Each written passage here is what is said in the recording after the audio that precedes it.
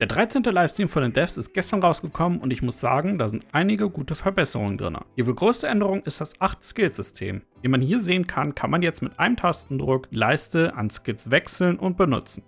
Sieht meiner Meinung nach auch echt gut aus.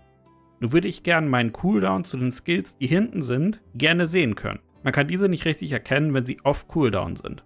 Aber ich bin mir sicher, dass wir zu dem System eh noch Quality of Life Anpassungen sehen werden. Durch dieses Update sollte man jetzt nicht mehr bei manchen Klassen so viel die linke Maustaste spammen. Eine weitere gute Änderung ist, dass man jetzt mit dem Mount sehr viel weiter sprinten kann und die Leiste für Sprinten lädt jetzt auch viel schneller auf, wie man hier sehen kann. Ein Limit Break System wird hinzugefügt. Damit könnt ihr eure Ausrüstung weiter verbessern. Das Max-Level liegt bei plus 5 momentan. Das bedeutet, wenn ihr jetzt eine neue Waffe craftet, könnt ihr sie dafür nutzen, damit eure Main-Waffe stärker wird. Das gleiche gilt auch für die Echos, also die Monster, die ihr beschwören könnt. Die bekommen sogar eine Cooldown Reduction, wenn ihr sie weiter levelt und am Ende sogar noch einen zusätzlichen Effekt. Es besteht aber auch die Möglichkeit, dass das Craften fehlschlägt. Aber keine Sorge, dabei geht eure Waffe oder Echos nicht kaputt. Zudem wurden die Drop-Chancen auf Waffen in Dungeons erhöht. Und man kann jetzt Echos in Dungeons gedroppt bekommen. Und zwar diese Echos, die als Rüstung zählen nicht die man beschweren kann. Was nochmal ein guter Anreiz ist, um die Dungeons auch öfter zu laufen. Zudem wird es noch eine neue Zone, ein neuer Dungeon und ein neuer Time Attack und Score Attack geben. Auch neuen Content wird es geben, in Form von einem Tower Defense Modus. In dem können 18 Spieler Horden von Gegnern bekämpfen, während man das Haupttor der Stadt verteidigt. Manche Gegner werden Spieler fokussieren, andere wiederum das Tor.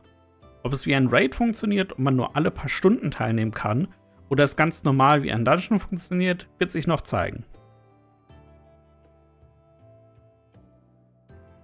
Falls ihr das Max-Level erreicht habt, was momentan 60 ist, bekommt ihr jetzt noch weitere Erfahrungspunkte.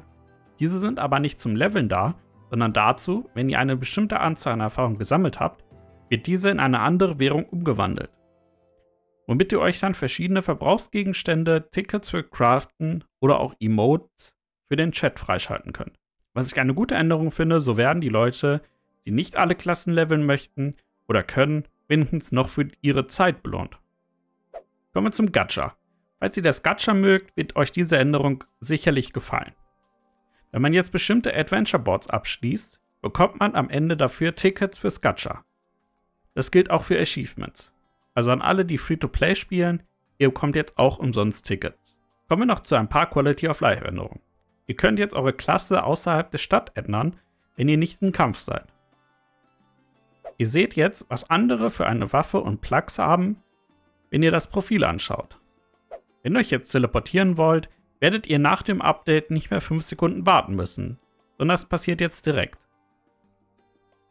Und der Liquid Memorize NPC befindet sich jetzt auch in Camps auf dem Feld. Zur Erinnerung, der Liquid Memory NPC ist ein NPC, wodurch ihr Buffs für eine bestimmte Zeit bekommt.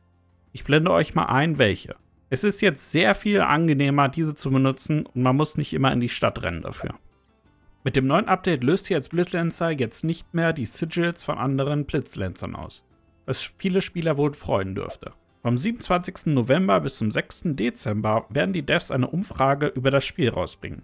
Alle, die daran teilnehmen, bekommen einen Beauty Salon Voucher. Und hier sind noch einmal Codes, die ihr einlösen könnt, wenn ihr in Japan spielt. Zuletzt kommen wir noch zum Advent und zur neuen Gacha-Rotation. Bei dem Weihnachtsevent, was vom 22. Oktober bis zum 20. Dezember geht, könnt ihr Ornamente sammeln und sie gegen verschiedene Outfits und mehr eintauschen. So ähnlich wie das Sommerevent. Die ganze Stadt wird dekoriert sein und es wird eine Weihnachtsmusik im Hintergrund geben. Aber auf diese Sachen müssen die Global-Spieler wohl noch ein ganzes Jahr warten. Das war's mit den Updates und ich muss sagen, es gefällt mir alles von den Updates. Viele gute Quality of Life Änderungen und sie hören wirklich auf die Community. Ich hoffe, dass wir bei den Game Awards eine Neuigkeit für Global bekommen. Vielen Dank fürs Zuschauen, abonniert gerne den Kanal und bis zum nächsten Mal.